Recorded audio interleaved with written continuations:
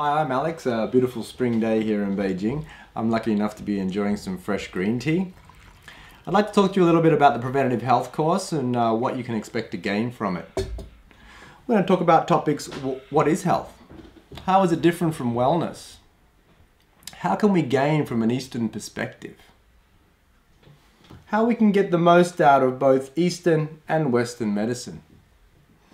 I'll give you the first key in fact the most important key of preventative health and wellness. This gives you the scaffolding for all other health and wellness to be built upon, like the fertile soil for the plants to grow and thrive. Chinese medicine is a complex field, you know. Uh, I've been studying and practicing Chinese medicine for over 15 years, and I'll give you what I've found to be the most important tools, ideas, and strategies for you to get the most out of it physical health, emotional well-being, which leads to longevity, which leads to what the ancients called immortality. I'm sure you'll get as much out of this as I have. So let's relax and enjoy.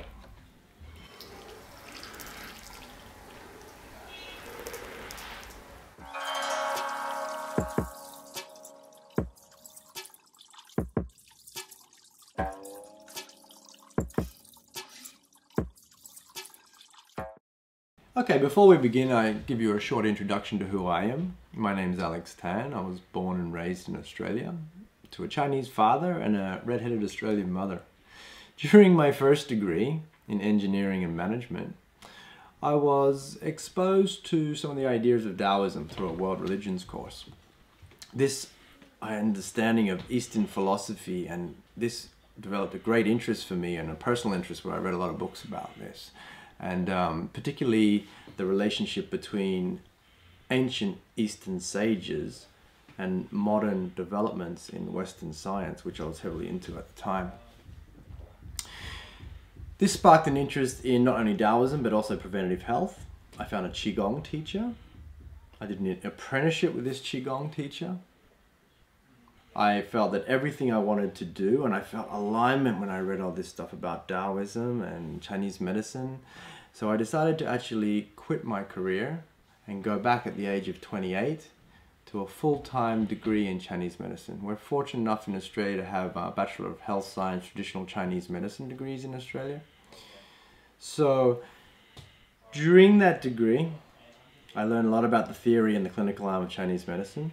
At the end of 2005, the final component of the degree is to come to Beijing to do an internship program. I completed that. I stayed in China. I immersed myself in Chinese culture, got back in touch with my relatives, found teachers.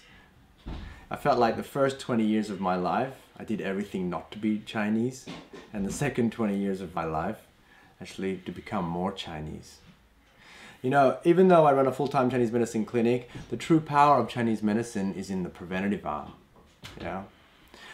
As the ancient doctors say, only when diet and lifestyle fail should you use acupuncture and herbal medicine.